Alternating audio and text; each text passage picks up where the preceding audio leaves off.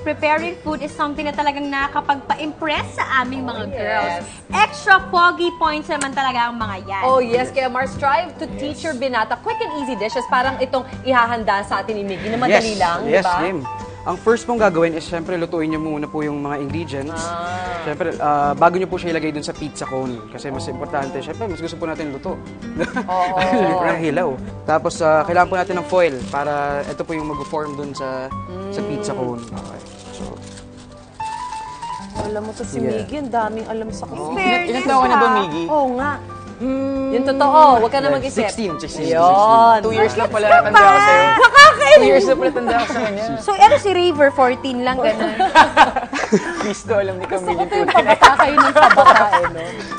Ikaw, hindi ka marunong, Roger, magluto ba? Hindi eh, hindi ako marunong magluto eh. Okay. Ang next step po, if, uh, like, siguro yung kailangan po na bigay na space for the dough is kon- konting excess lang po. Okay. Para kasi later pag... Lilitaw lang siyang oh, konti. ito yung medyo challenging, pero if ever kahit maputol, okay lang, okay lang naman Ito siya na kasi... yung pag-ikot. Yes, ito na po yung pag-ikot. Pagkulma, pagporma. Kasi nga naman, gagawin mo siyang cone. Oo. Okay nga naman kung yung pita bread nga, ano, kasi mas manipis. Pero ang galing, ano. Kasi kung ako yan, bibili ako ng totoong pizza, tapos ibibilog ko. Yeah. Okay, Okay, ito na po yung, yung after ng pagkaikot. So, kailangan lang, ah, parang i-lock ng na mabuti yun sa may foil. Okay. Para, kasi para mas mag-cool daw siya. ulit. Yes, so, tama po. So, like, ah, yung sa medyo, ito kasi next step po na mangyayari after. So, like, tatanggalin niyo lang po yung excess. So you can cut it. Yes, you can cut it po with the knife. Mas better po ng knife. Maglagay na ng gusto. Oops! Ay! Yes, yung mag-design ng Yung matumba yun. pizza. Kung ano yung mga gusto niyo po Gabi ilagay. to, Roger. hindi na. Okay, next step. So, first po natin cheese, ilalagay natin para mag mag-block po siya sa, sa dulo. Okay. Para siyang kasi 'di ba usually nag-drip po yung iba. If ever walang if ever walang naka-block. So, sa pinaka-ilalim, so, ipupush nyo lang po yung cheese. Tapal mo sa buka. Yes, tama po.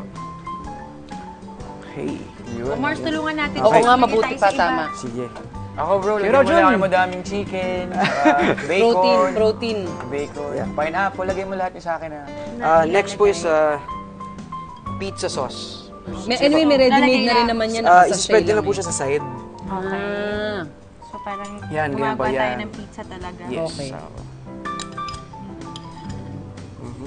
Galing mo, Miggy ah. yan.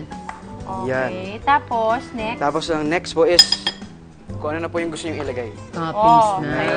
Game. Ako ako bacon lover po ko. eh. So, Pa. bacon.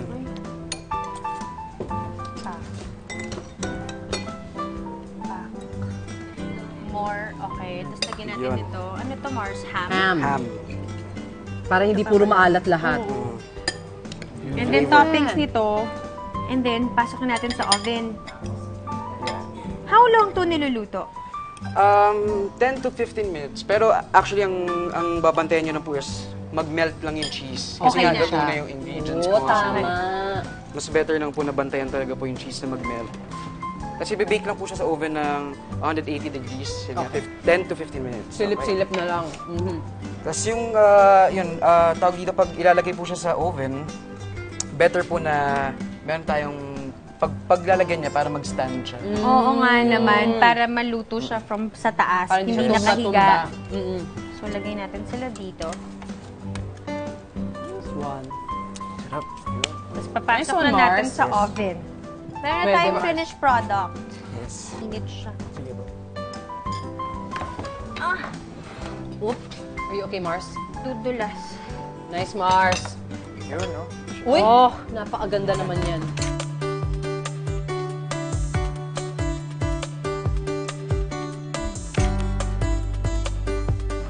Sarap! Ito na. Dig in. Ang sarap. Ang saya. Mm. Solid to ah. Galing mo, Galing Miggy. nito, Miggy. Ibang level. Thank you. Sarap. Ah! Thank you, Miggy! Bongga to. Sige rin po. Subukan talaga natin to, Mars. Oo nga, good job, Miggy.